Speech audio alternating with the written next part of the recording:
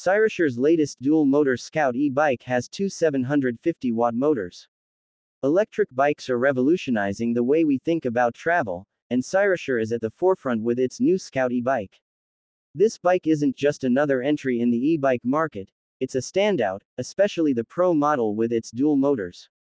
The Scout e-bike comes in two models, the Standard and the Pro. The Standard model is a competent e-bike, but the Pro is where Cyrusher really shines. It features two 750 watt motors, combining for a total of 1,500 watts. This power isn't just for show, it's for performance, giving riders the ability to effortlessly transition from urban landscapes to off-road adventures. One of the most impressive aspects of the Scout Pro is its range.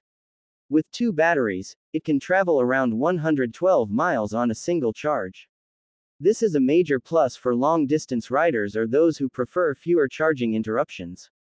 The standard Scout, with a 56-mile range, is also practical for daily commutes. Cyrusher has also put great thought into the design of the Scout. Its low-step aluminum frame is both stylish and functional, suitable for riders of various heights. Comfort is further enhanced by features like the extended saddle and a suspension system, making rough terrains more bearable. Safety and user-friendliness are key.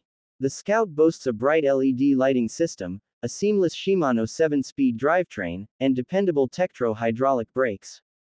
What's also attractive is the pricing.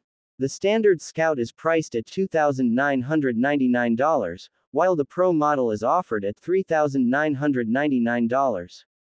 Considering the Pro's features, it's an excellent value for those looking for an e-bike that can handle both urban and off-road challenges.